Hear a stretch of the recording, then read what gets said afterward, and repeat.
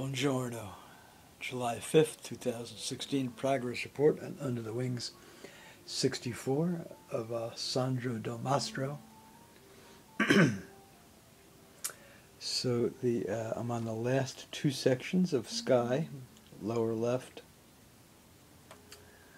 and upper to center right there.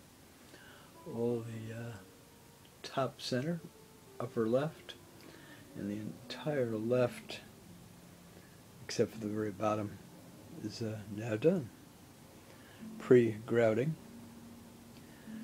And uh, then uh, once the sky is completed, I'll uh, be finishing up the uh, rock